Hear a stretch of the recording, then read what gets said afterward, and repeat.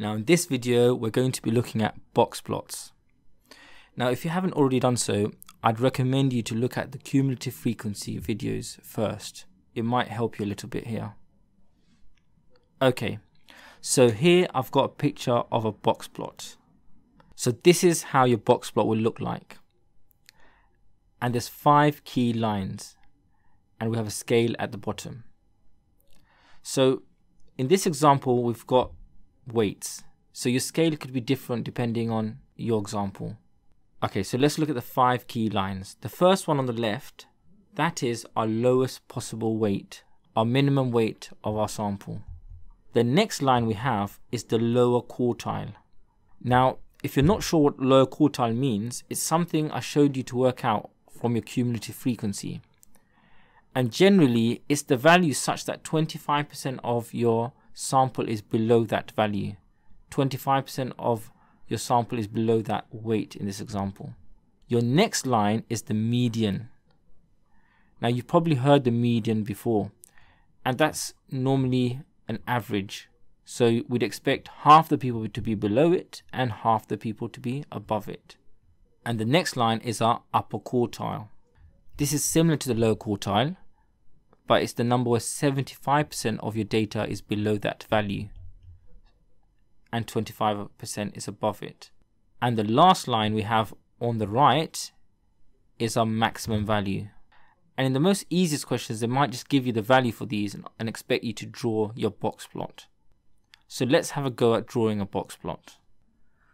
Okay, so in this table, we've got all our necessary values to draw our box plot. So let's start drawing it. In this example, the scale has already been drawn for us. Sometimes you might need to do that yourself. So just look at the minimum value and the maximum value to decide how you're going to scale it up. Okay, now remember how the diagram looked like from before. You don't want your box plot to be sitting on the scale, slightly above it. So let's put our five major lines in. So our minimum weight here is 9. So we need to draw that line for the 9 on our scale. Then our low quartile is 15. So let's put that line in too. And the median here is 19. So, so, let's, so let's go ahead and put that in. Our upper quartile is 31. Let's put that in. And our maximum weight is 43. Now we need to draw the box. So we draw that major box, which makes it a box plot. And also keep in mind that sometimes you'll find the minimum value and the maximum value lines drawn slightly smaller than the actual box itself. Okay, let's look at some additional questions which might be asked on our box plot. Part 1. Work out the range. Now the range is simply the largest value, so our maximum value, minus the smallest value, which is 43 minus 9, giving us 34. Next part. Work out the interquartile range.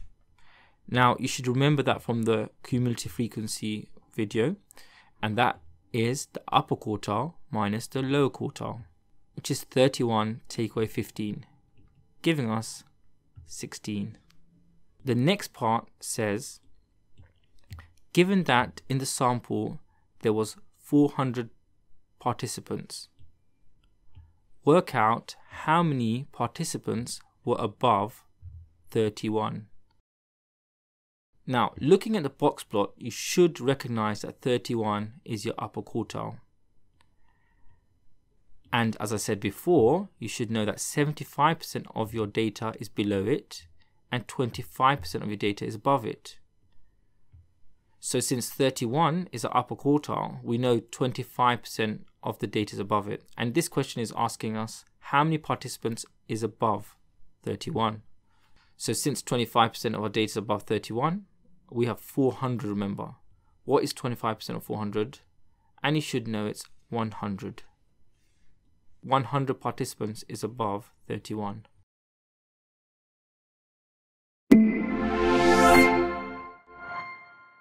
I hope you found that video useful. Support us by liking, subscribing, and share this with your friends. And if you still got some more questions on anything, drop a post on our forum at examqa.com where you'll find your questions answered.